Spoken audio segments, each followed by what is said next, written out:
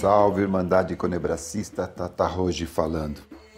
A questão que eu queria refletir com vocês e levar a um destaque é o fato de nós sermos mais de 54% da população. E que essa revelação, que já tem algum tempo, ainda não foi devidamente explorada pelos nossos ícones, pelos nossos líderes, pelos nossos porta-vozes, por aqueles que possuem o microfone nas mãos ou até mesmo as telas, seja de celulares ou de televisão. Por que, que não destacam esse detalhe no sentido da potência que ele é?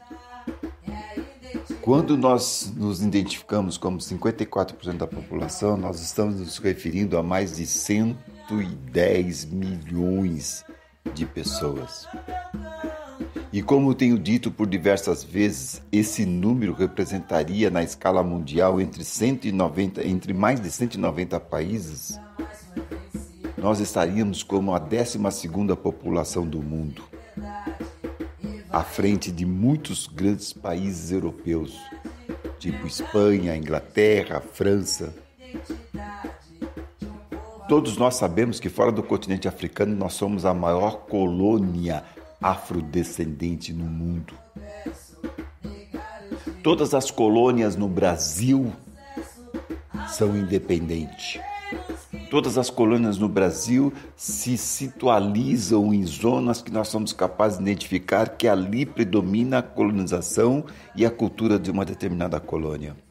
Seja do sul do Brasil até o nordeste. Nós encontramos colônia alemã, colônia francesa, colônia japonesa, colônia portuguesa, colônia italiana, colônia ucraniana, colônia holandesa, onde nós identificamos no seu local, na sua região, características culturais que vão desde estátuas a nomes de rua, com grande incidência, caracterizando ali o domínio daquela colônia. E se nós somos a maior colônia afrodescendente fora do continente africano, em qual local desse, desse país chamado Brasil, que é formado por diversas colônias, se caracteriza a colonização afrodescendente?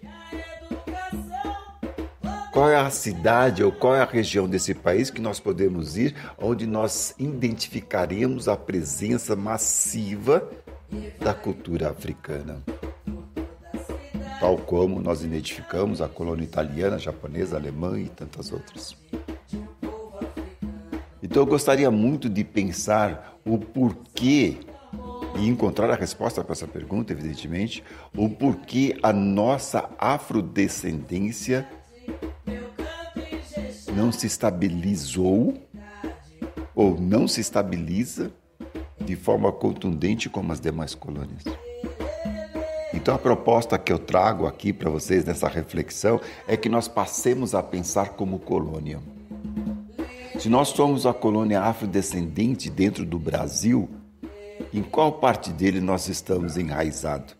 Em qual parte deles nós nos, nos concentramos de forma a interferir diretamente na cultura local? Muitos poderão dizer que nós afrodescendentes estamos no Brasil todo mas também as outras colônias também se encontram no Brasil todo. Mas não é difícil de identificar em qual região elas estão mais concentradas e dominam a cultura local. Nós, afro-brasileiros, somos mais de 54% da população. Está na hora dos nossos porta-vozes, daqueles que dirigem seus conteúdos a nós, seja por todas as mídias, seja escrita, televisiva, ou seja youtubers através da internet, está na hora deles assumirem a responsabilidade, pois se possui o dom da fala e se possui o domínio dos microfones, por que, que eles não falam sobre como nós cuidarmos de nós mesmos e nos que venhamos a pensar em nós como uma colônia, como um grupo, como uma organização, como uma irmandade e a partir dessa organização identificarmos o nosso território, demarcarmos o nosso próprio território.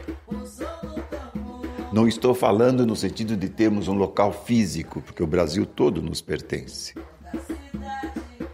Mas isso é muito utópico esse pertencimento. Na realidade e na prática, nós somos aqueles que o Brasil não quer que esteja aqui, que estejam aqui. Ou nós aceitamos isso de uma forma muito cômoda, sem nenhum espírito de reação, ou a gente tem que começar a se mexer.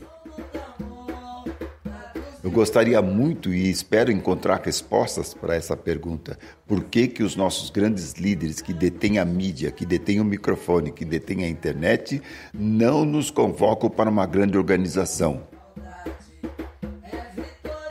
Se somos a maioria, e se nos unirmos em mais de 100 milhões dentro de uma única organização, nós não dependeremos de ninguém. Porque colônias com um décimo da nossa população, do nosso número, são independentes. Não dependem de sistemas assistencialistas. Por que, que nós, que somos 10, 15, 20 vezes maiores do que muitas das colônias independentes, dependemos de assistencialismo? Alguma coisa está errada. Alguma coisa está esquisita. E com certeza eu não sou o único que sabe disso. Eu só gostaria de saber por que, que aqueles que detêm o controle da mídia, seja via youtuber, seja via jornal, seja via áudio, seja via música, não nos orientam ou não se manifestam para chamarmos a atenção de toda a Irmandade de que se nós nos unirmos, nós somos uma potência sem rival dentro desse país e dentro de muitos e também em frente a muitos outros países. Começar a nos organizar já passou da hora. Conebras reunindo forças. Tata Rocha.